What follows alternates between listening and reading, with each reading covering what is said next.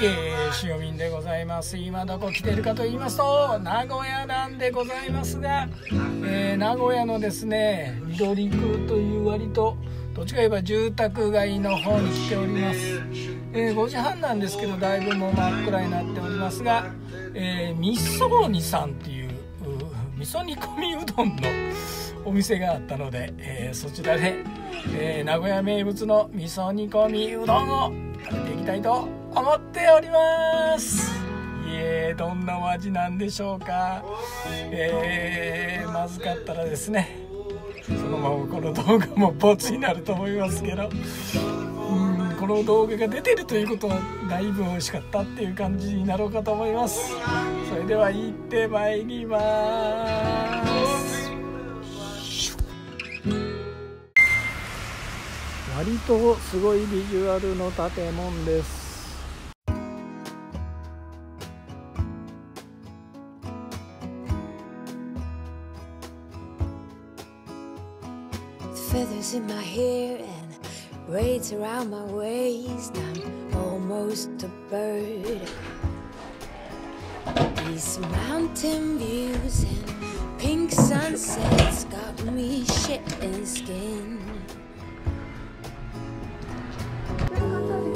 Oh, all right.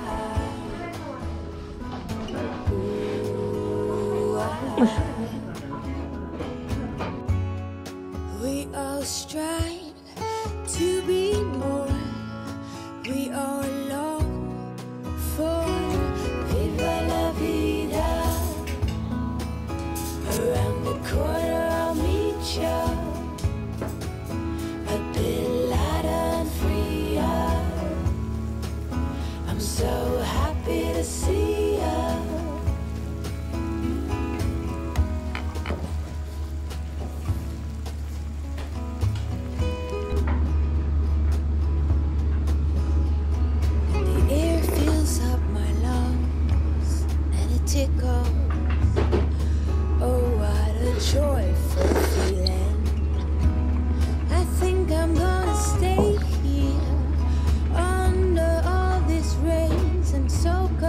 sun.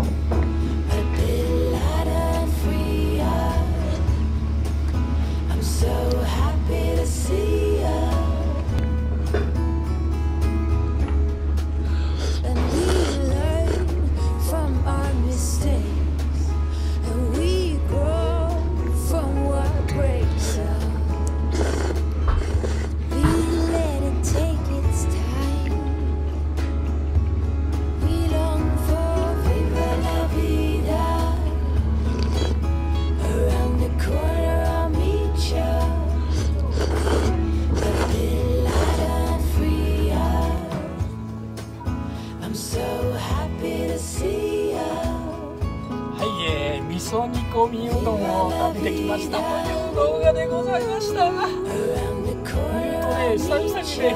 Oh, ですね。はい。店の雰囲気も良かったです。し味も最高でしたし。はい。いい感じのお店でございました。はい。まあね都心からねだいぶ離れてるんでまあ車僕今車なんでいいんですけどうんと本当ね、えー、周りあの地元の人ばっかりでございました。